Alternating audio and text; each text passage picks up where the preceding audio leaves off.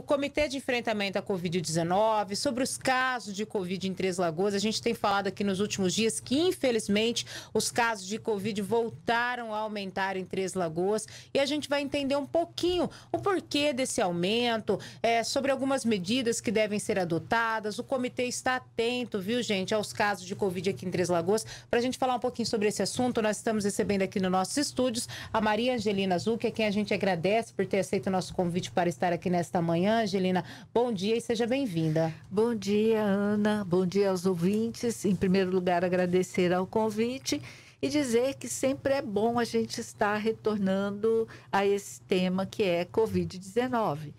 O comitê esteve reunido na última sexta-feira. Nós viemos acompanhando todo esse período o comportamento da doença aqui em Três Lagoas. E o que nos chamou a atenção, e onde a própria Secretaria de Saúde nos trouxe a, a situação atual de Covid aqui em Três Lagoas. Nos primeiros três dias do mês de junho, nós tivemos 113 casos, quer dizer, tivemos um aumento do número de casos e associado também tem um aumento das gripes de um modo geral ocorrendo junto. E o que acontece? Muitas vezes essas pessoas com sintomas de gripe, elas procuram o serviço porque está com uma gripe e muitos nem procuram o serviço e não fazem os exames. Então, na verdade, esse número que nos foi apresentado, ele também pode não ser real, ele pode ser maior do que aquilo que nos foi apresentado. Vivenciando esses dados, houve toda essa discussão no comitê. Por que é que esses casos ainda continuam ocorrendo? Porque nós não zeramos, eles continuam ocorrendo. E nessa época agora, que é mais frio um pouco, as pessoas continuam se reunindo, só que em ambientes fechados, porque as noites estão mais frias e mesmo durante o dia quer seja na escola, quer seja no lazer, esses ambientes estão fechados. Então, isso propicia a disseminação e a contaminação das pessoas, tanto pela Covid como pelas outras gripes ou infecções respiratórias. Angelina, era previsto esse aumento? Por que desses casos de Covid estarem voltando agora? A gente passou um período aí praticamente com casos zerados de Covid. De repente, nas últimas semanas, essa explosão. Isso se deve a quê? Bom, na verdade, ele era, vamos dizer, esperado que isso ocorresse a partir do momento que nós tiramos uma ferramenta, vamos dizer assim, que é importante para impedir esse contágio, que é o uso das máscaras. Então, foram liberado o uso de máscara em ambientes abertos, e com isso a gente não tinha mais é, uma ocorrência grande de casos. Os casos foram diminuindo. A partir do momento que passamos né, a nos concentrar em ambientes fechados e todo mundo sem máscara, é, você vai ter uma facilidade, vamos dizer assim, para a transmissão da doença. Porque, como eu disse anteriormente, ambiente fechado, fica todo mundo respirando aquele mesmo ar por um tempo maior, o que facilita essa transmissão. Então, neste momento, o que o comitê, depois de todas essas discussões, então, ele não obriga, né? Não é obrigatório a usar máscara, mas sim recomendado. Isso é o que está acontecendo no Brasil como um todo neste momento. Todas as cidades, né, todos os municípios, os estados estão pedindo a compreensão da população neste momento, onde a gente tem um aumento de casos no Brasil como um todo que seja recomendado o uso de máscara em ambientes fechados. O que a gente percebeu com os dados aqui do município é que nós estamos com muitas crianças com gripes. Então, elas acabam sendo afastadas da sala de aula para evitar o contágio para outras crianças. Daí a importância dos pais colaborarem né, e mandarem suas crianças usando máscara tanto para pegar o transporte escolar, para transitar no transporte público, enfim, em ambientes que estejam fechados, o uso de máscara para as crianças, para os adultos é muito importante. Por que de não de se obrigar nesse momento? Porque a gente sabe que recomendar, nem todos aceitam uma recomendação, né? Quando passa a ser obrigatório, tem fiscalização, já é mais diferente. Esse momento não seria o momento de se obrigar realmente diante desse avanço, Angelina? Não, nesse momento seria a recomendação, porque após dois anos, todo mundo usando máscara, sendo ambientes que foram fechados, não é? Ou tiveram o seu tempo de uso menor fez com que toda a população entendesse é, o que é legal para a gente prevenir da Covid. O que, que foi bom para prevenir? Em primeiro lugar, o uso da máscara, e isso é inegável que realmente ajuda. Segunda coisa, vacinação. E é importante a gente frisar sobre vacinas. O Ministério da Saúde, ele liberou para o nosso país as melhores vacinas que existem no momento.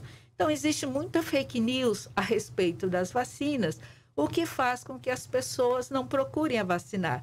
Até este momento, as melhores são essas que estão disponíveis nas redes públicas de saúde. Isso é importante frisar. Então, você que ainda não completou o seu esquema ou que ainda não tomou sua dose de reforço, se já está liberado, por favor, procure a unidade de saúde, você vai estar protegendo a você e a coletividade. Esse é o grande objetivo de se usar a máscara e de se completar seus esquemas vacinais, tanto criança, adolescente e adulto. Angelina, você acredita porque a gente vê que aqui em Três Lagoas, por exemplo, né, ainda está baixo o número de pessoas que não completaram o seu esquema vacinal, ainda a prefeitura não conseguiu atingir aquela meta preconizada pelo Ministério da Saúde. A gente vê que tem pessoas que tomaram só uma dose da vacina, outras tomaram até a segunda, não compareceram para ter, tomar a terceira, tem gente que não tomou nenhuma das doses. O porquê? Apesar de se mostrar a eficiência da vacinação, acredito que esses casos tenham reduzido também graças à vacinação, é, que as pessoas não estão evoluindo para casos mais graves, as pessoas estão contraindo a Covid, mas sintomas mais leves, né? Exatamente. É, a gente tem uma prova, vamos dizer assim, de tudo que foi feito que deu certo, que foi o que? A máscara e a vacina.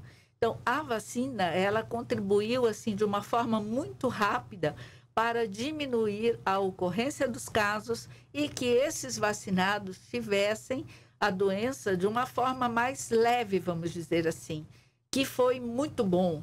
E isso ficou provado durante essa pandemia.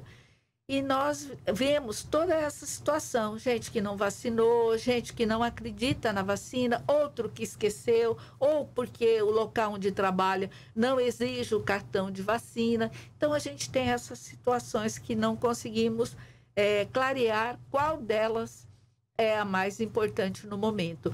Mas o que vale dizer é que a Secretaria de Saúde aqui no município ofereceu a vacina em várias oportunidades, finais de semana, é, saiu, não é, fazendo vacina nos bairros, nas escolas, e mesmo assim as pessoas ainda não completaram seus esquemas.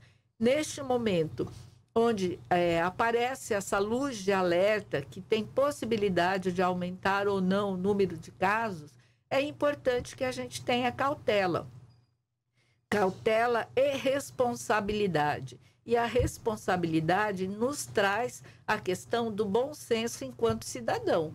Eu tenho que me proteger e proteger também a coletividade. Exato.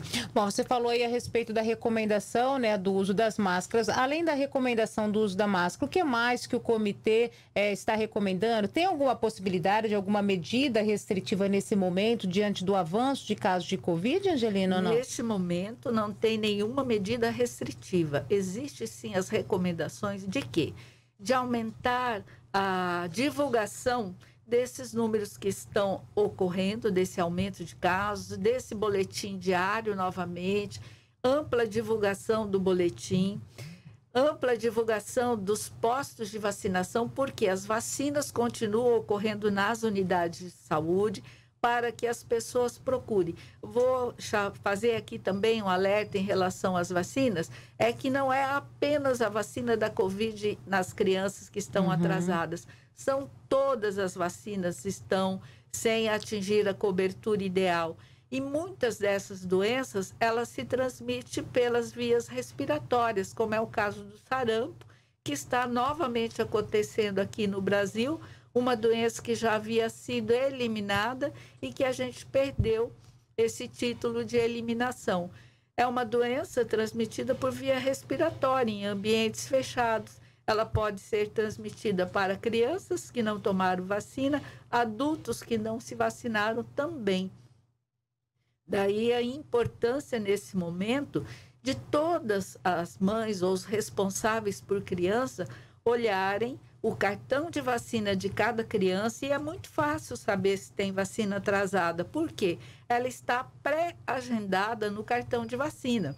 Olhou o cartão e viu que lá tem uma vacina que estava agendada e não fez, procure o serviço de saúde. Se você não puder levar, peça para alguém levar seu filho ou quando a vacina é oferecida na escola, mandar a autorização porque muitas vezes essa vacina chega na escola, mas como não tem autorização do pai ou responsável, a criança não é vacinada. Exatamente. E gripe também, né? A gente até falou que na semana passada o Ministério da Saúde até prorrogou né, a vacinação, a campanha de vacinação contra a gripe, porque o público-alvo não comparece. É aquela questão, eu sempre falo, a gente fica doido para querer tomar vacina, não pode, porque não, não é o momento ainda, não é o público-alvo. E para as pessoas que podem, elas não comparecem. Aí não tem um erro também, não deveria liberar a vacina para quem quer tomar, Angelina? É, mas primeiro, vejam bem, por que é que tem público-alvo? Porque o público-alvo é criança, gestante, puérpera idoso.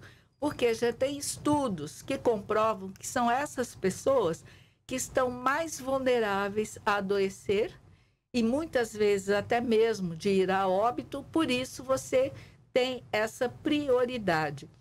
O que a gente viu é que nesse período de pandemia, a vacina da gripe, que sempre foi a mais procurada nessa época do ano, ela deixou de ser procurada, inclusive pelos idosos. Aqui em Três Lagoas, a cobertura vacinal ela está baixíssima entre gestantes, entre as puérperas, que são as mulheres que já tiveram seu bebê, entre as crianças e até mesmo entre os idosos. Olha, esse público-alvo que sempre procurou espontaneamente a sua vacina, desta vez não está procurando. No início do ano, é, teve vacinação de gripe, mas foi muito bem esclarecida a população que essa vacina ainda não tinha o último componente da, da, de gripe que está ocorrendo. Por isso, todo mundo teria que revacinar agora.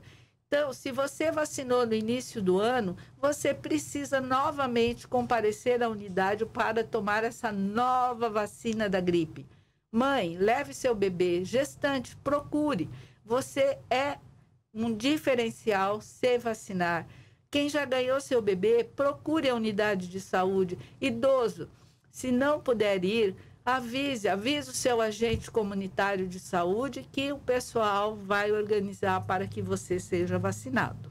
Agora, em relação à vacina contra a Covid, continua sendo oferecida, inclusive a quarta dose, mas também para um público-alvo, né? Não é para toda a população a quarta dose ainda, Angelina? É, tem que verificar qual é a faixa etária que já está liberada. É fácil para saber isso. Ligue na unidade de saúde, os telefones estão disponíveis. Ligue, agenda, converse com a sua unidade que você costuma tomar suas vacinas para ver qual o melhor dia, qual o melhor horário que você consiga comparecer na unidade de saúde. Mas a quarta dose ela não deve ser oferecida para toda a população Ainda não assim, para né? toda a população. Por isso a gente pede, ligue na unidade, veja o seu caso para poder agendar, para saber se está na, na, no tempo oportuno ou se será posteriormente. Helena, a gente tem visto aí também, né, a volta dos shows, dos grandes eventos, as pessoas não usam mais máscara, né, não tem essa exigência mais, né, antes tinha essa exigência do uso da máscara e também de comprovar que você tomou a vacina para ter acesso a esses locais. Não seria o momento, por exemplo, de é, cobrar é, que a pessoa presente ali, que ela tomou todas as doses da vacina para frequentar esses eventos ou não? Não, não é o momento ainda de obrigatoriedade ou de qualquer tipo de restrição. Mas a gente tem orientado quem vai a um show, principalmente se for em ambiente aberto, hoje a noite está muito fria, não é? Então, além de você estar agasalhado, a gente sabe que todo mundo quer cantar junto com aquele cantor que está lá. Mas olhe, procure um espaço né, onde você consiga ter um maior distanciamento ou use a sua máscara. É a única recomendação para este momento, que é o que a gente fala de bom senso. A gente tem observado no comércio que, apesar de ter um álcool na entrada, as pessoas deixaram de utilizar é, frequenta os ambientes é, sem máscaras, nos cobraram a questão das farmácias. Olha, farmácia também é um ambiente frequentado por pessoas doentes e pessoas não doentes. Se você tem o bom senso, você vai entrar nesse ambiente também com máscara, porque ele é um ambiente que está fechado, não é? A gente aqui em Três Lagoas tem uma rede onde não só os trabalhadores utilizam, como eles cobram para que as pessoas entrem de máscara. Então, essa é uma questão individual, Ana. Então, nesse momento, que vale é a questão do bom senso. Uhum. Porque, mesmo quando era obrigatório, a gente encontrava as pessoas sem máscaras, não era? Uhum você vê, é difícil nesse momento. Então, este é um momento onde as pessoas têm que estar acompanhando o número de casos que estão ocorrendo, porque as formas de prevenção, todos já sabem, nós passamos dois anos duramente por toda essa situação da Covid. Sempre atento ao que traz a informação na televisão, escutar o que os especialistas de saúde recomendam, que eu acho que esse é o uhum. principal. Não cuidado com as fake news que aparecem neste momento e vamos todos ter bom senso correr atrás das vacinas quem não completou, usar máscaras onde você tem aglomeração e em ambientes fechados. Hoje, obrigatoriedade apenas nas unidades de saúde, a máscara, secretária? Isso, são nas unidades de saúde, não é? As clínicas de saúde. As pessoas às vezes reclamam que vão em determinadas clínicas e tem gente sem máscara essa recomendação ela vale para todos os ambientes de saúde. Transporte também. Transporte também, ela ainda é válida, obrigatório. Né? Obrigatório que seja. Tanto faz o transporte escolar como o transporte das empresas. O ideal é que todos usem máscara nesse momento. Tá certo, Angelina. A gente quer agradecer pela tua presença, né? É sempre importante a gente estar falando aí sobre essas recomendações, esse alerta, principalmente diante desse aumento de casos de Covid, também de gripe. E o comitê volta então a se reunir agora com mais frequência, Angelina? Exato. É de acordo com a situação epidemiológica da Covid, né? Nosso objetivo sempre é a questão da Covid, mas nesse momento foi discutido também a questão da vacinação, uhum. tá? E a gente se reúne sempre que for necessário. Se está tudo bem, que é o que a gente quer que isso aconteça, né, com a colaboração de todos, é o, a reunião praticamente ela não necessita.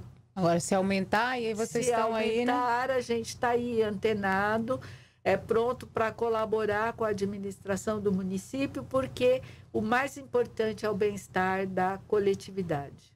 Obrigada, Angelina.